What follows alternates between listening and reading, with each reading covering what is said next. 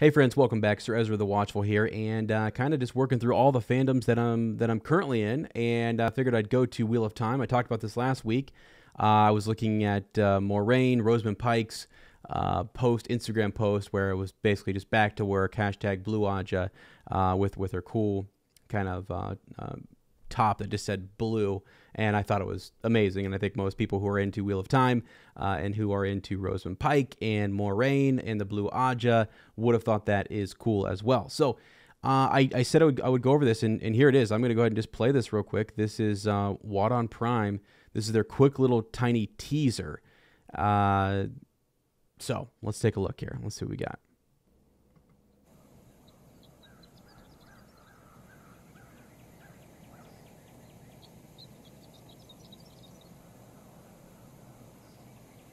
Yeah. Yeah. Okay.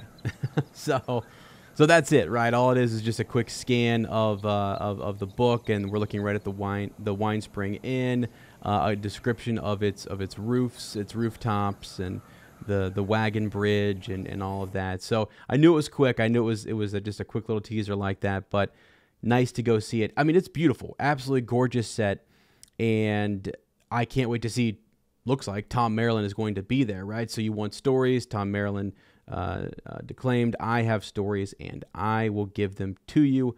Uh, I will make them come alive before your eyes. So that's sort of the caption for for their their post, and and this is awesome. It looks really really good. It it gives me a lot of um, encouragement to to see a, an amazing set like that. So the budget, if if the rumors are true, the the budget on this show is just unreal. Uh, apparently, they've put a lot of money and effort into this. Really, really, really cool. Over um, uh, Rosamund Pike, uh, her post indicated they're over uh, in the Czech Republic. Prague uh, was was where the location the, the location was on that, and some of the other cast members have been posting kind of you know selfies at the gym and back to working out and and photos of them at dinner and stuff so they are also back at it and i think that is just just super cool i'm really excited to see this this come to life. Um, one of the things I planned on doing on this channel is to go over some of this Wheel of Time content, some more spoiler stuff. Uh, over on Heroes of the Horn, it's it's more non-spoiler. On, on, YouTube, we will also get into a little bit of uh, spoiler territory uh, there. Sir Matt and I are through oh gosh, we are going to be, we're recording tomorrow actually. We're going to be finishing up The Dragon Reborn Part 6. So on our podcast there, it's his first read through the series. That's a lot of fun. And then we'll be into The Shadow Rising.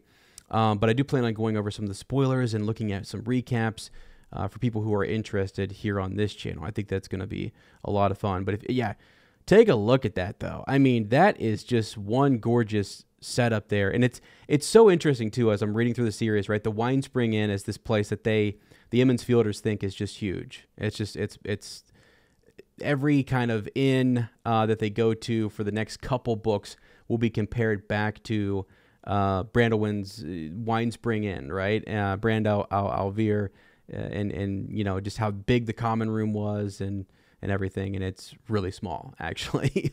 uh, Emond's Field though, so so cool. The the the good old Two Rivers folks. So.